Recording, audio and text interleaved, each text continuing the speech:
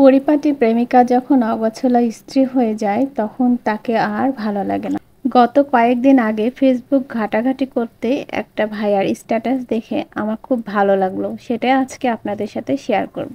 আমার স্ত্রীকে আমি ভালোবেসে বিয়ে করেছিলাম।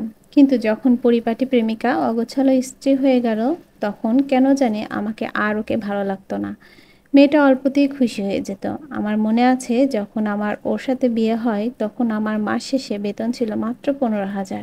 এই সামান্য টাকায় সে যে কতটা খুশি থাকতো, তা আমি বুঝাতে পারব না। আমি থেকে শুরু করে আমার পরিবারের সকলের খেয়াল সে রাখত। আর দিন শেষে চাইতো একটু ভালোবাসা, যেটা আমি সময়ের সাথে সাথে কমিয়ে দিলাম। আস্তে আস্তে আমার পজিশন ভালো হতে থাকল। আমার চিন্তাধারা হয়ে গেল অনেক উন্নত, কিন্তু সংসারের চাপে ও ঠিক আগের মতোই রয়ে গেল। আমার পনেরো হাজারের বেতন তিরিশ হাজারে গিয়ে ঠেকলো। ঘরও পরিবর্তন হলো, আমিও পরিবর্তন হলাম, কিন্তু পরিবর্তন হলো না আমার স্ত্রী। সে নিজেকে পরিবর্তন করতে পারল না। আস্তে আস্তে আমাকে টাকার নেশায় গ্রাস করল। আমি ভুলে গেলাম আমার প্রিয় অতীতটাকে। সুখের ছোঁয়া পেয়ে আমি ভুলে গেলাম দুঃখের দিন।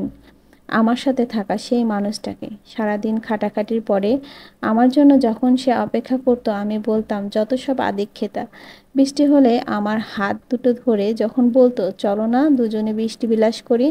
আমি তখন রেগে উঠে বলতাম, বয়স তো কম হলো না, এখন ওসব ছাড়ো। বেড়াতে যাওয়ার জন্য খুব বায়না করতো। আমি তাকে শান্ত করার জন্য বলতাম, নিয়ে যাব। কিন্তু পরবর্তীতে সব কিছু ভুলে গিয়ে বসে থাকতাম। দিন যত যাচ্ছে, আমার প্রতি তার ভালোবাসা আরও বেড়ে যাচ্ছে, কিন্তু আমার বাড়ছে তার প্রতি অবহেলা। একটা সময় পর আমার পরিবারের মানুষগুলো ওকে অবহেলা করতে শুরু করল। যার হাতের রান্না খাওয়ার জন্য আমার বাবা অস্থির হয়ে থাকতো। তার হাতের রান্না নাকি এখন আর ভালো লাগে না। যে মানুষটা ওষুধ না দিলে আমার মায়ের ওষুধ খাওয়ার কথা মনে থাকতো না, আজকাল নাকি ভুল ওষুধ দিয়ে সে আমার মাকে মেরে ফেলার প্ল্যান করছে। একটা সময় আমাদের বাড়িতে থাকার কোনো সম্বল সে আর খুঁজে পেল না। আর আমি এদিকে সরাসরি ওকে বলে দিলাম, আমি তোমাকে ডিভোর্স দিতে চাই। এই কথা শুনে সে কোনো প্রতিবাদ না করে আমার দিকে অবাক দৃষ্টিতে তাকিয়ে থাকল। একদিন সেই কাঙ্ক্ষিত সময় আসলো, আমার আর তার ডিভোর্স হবে।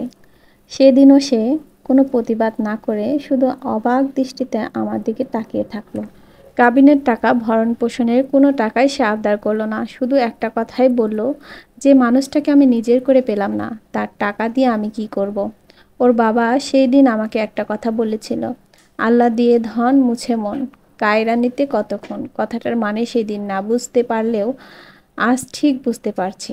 আমার স্ত্রীকে ডিভোর্স দেওয়ার পর ঠিক তিন মাসের মাথায় একটা মিথ্যা অভিযোগে আমার চাকরিটা চলে যায়।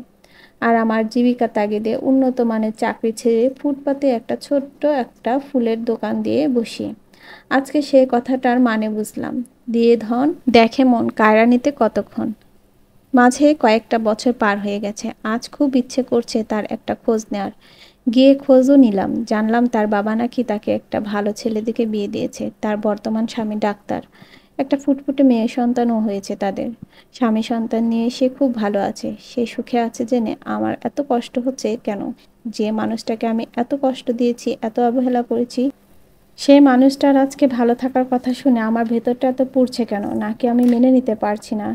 যে সুখের আশা আমি আমার স্ত্রীকে ছেড়ে দিয়েছি, আজ আমার কপালে এত দুঃখ, এত কষ্ট, এত অশান্তি। তাই তো কথায় আছে, সেই হাসিটা, সেই হাসে যে নিজেকে ভালো না বেসে অন্যকে ভালোবাসে। পুরুষ মানুষ হয়ে জন্মেছি বলে আমার কত অহংকার না কত দম্বই ছিল। এই অহংকার আর দম্ব না দেখিয়ে যদি তাকে নিয়ে সংসার করতাম, পৃথিবীতে সবচাইতে সুখী পুরুষটাই আমি হইতাম।